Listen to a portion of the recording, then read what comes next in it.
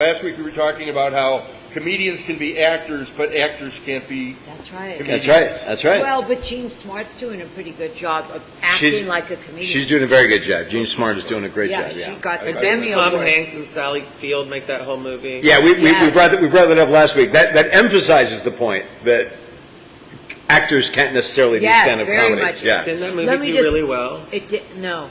Uh, no, it became iconic, but, it, but I don't Actors think it made any money. Actors don't want to become stand-up comedians. No, a lot of them good- do.